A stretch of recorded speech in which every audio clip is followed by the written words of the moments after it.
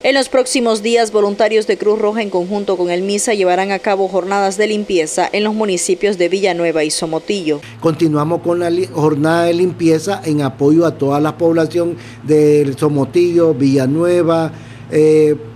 eh, eh, Pozoltega y también vamos a tener el viejo, donde vamos a preparar y a capacitar a 100 brigadistas más